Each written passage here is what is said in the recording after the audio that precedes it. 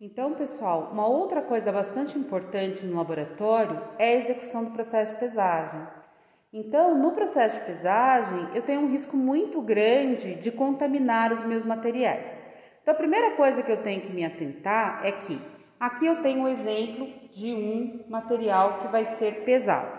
Esse material que vai ser pesado, eu sempre devo observar se ele está devidamente rotulado, se está dentro do prazo de validade, se eu tenho todas as informações no rótulo quanto ao lote, validade, fabricante, para que eu tenha rastreabilidade nas minhas análises, por exemplo, se eu vou pesar um determinado reagente. E eu sempre devo observar que o processo de pesagem pode ser um risco, porque eu posso ter uma contaminação cruzada dos materiais quando eu realizo o processo de pesagem. Então, isso é um, é um risco bastante grande para nós. Então, imaginem aqui que eu tenho dois materiais para serem pesados e eu não posso ter contaminação entre eles. Então, um ponto de contaminação é a espátula. Eu não posso usar a espátula no material 1 e depois passar com a mesma espátula para o material 2. Eu vou ter uma contaminação entre esses materiais. Outra coisa bastante crítica é a tampa. Quando eu estiver pesando esse material, eu tenho que tomar cuidado para não misturar as tampas, porque a tampa contém material lá dentro e pode um frasco contaminar o outro. Então, o ideal é que ou eu segure na mão essa tampa enquanto vai realizar a pesagem, ou deixe essa tampa sobre a bancada com a boquinha para cima, garantindo que não ocorra contaminação e mistura entre elas. Agora, pessoal, falando um pouco da balança. Então, a balança, existem várias é, balanças diferentes disponíveis no mercado. Essa aqui é uma balança semi-analítica. Cada balança, ela possui uma determinada capacidade de pesagem. Então, essa capacidade de pesagem eu sempre vou ter identificada no equipamento. Por exemplo, essa balança aqui pesa no máximo 3.600 gramas, ou seja, 3,1 kg, e no mínimo 0,5, ou seja, 500 miligramas. Então, eu não conseguiria, nesta balança específica, pesar, por exemplo, com precisão e exatidão, 2 miligramas. Por quê? Porque eu estou fora da faixa de pesagem dessa balança. Então, isso é uma das coisas bastante importantes quando a gente fala de uso da balança.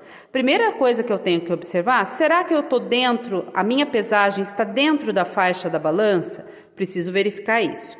Outra coisa que eu preciso verificar sempre é o nível da balança. Olha só, quando essa bolha está fora aqui desse círculo, quer dizer que a balança está desnivelada.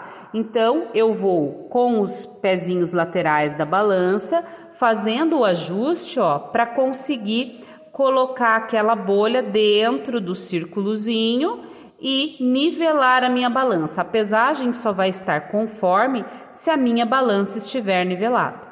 Então, com a minha balança nivelada, eu vou conseguir realizar uma pesagem adequada. Então, a primeira coisa é que eu não vou poder pesar o material diretamente no prato da balança. Eu preciso usar algum material. Uma dica legal é usar um papel manteiga como esse aqui. O papel manteiga é legal porque eu consigo realizar uma dobra nele, brincando como se fosse um origami, e eu vou conseguir, através dessa dobrinha, vou conseguir fazer uma pesagem e também vai me facilitar na hora, depois de executar o processo de pesagem, transferir esse material. Imagine que eu vou transferir esse material depois da pesagem para um becker, então eu consigo transferir esse material de uma forma mais fácil se eu executar uma simples dobra no meu papel. Então, esse papel eu coloco ele em cima do prato da balança, né? E eu não quero considerar o peso dele, né? Eu quero pesar o material e não o papel. Então, o que, que eu vou fazer? Eu vou zerar, eu vou tarar a balança. Então, toda balança tem a tara justamente para isso, para que a gente desconte o peso do material, poderia até pesar em cima de um becker, né? Mas o legal do papel é que ele é descartável e evita a contaminação. Então eu vou fazer a tara justamente para garantir que o material é que vai estar sendo pesado.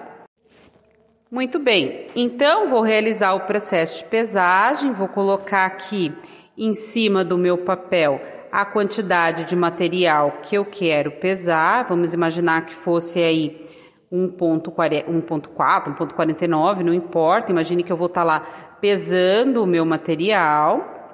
Né? Então, vou realizar o processo de pesagem e a partir do momento que eu chegar no peso que eu quero, eu posso então usar esse material, transferir esse material facilmente. Então, imagina que eu vou transferir esse material agora para um becker, porque eu vou adicionar uma solução, vou levar para o aquecimento, então vai facilitar a utilização do papel e o legal, descartável, né? Não vai, vai evitar a contaminação.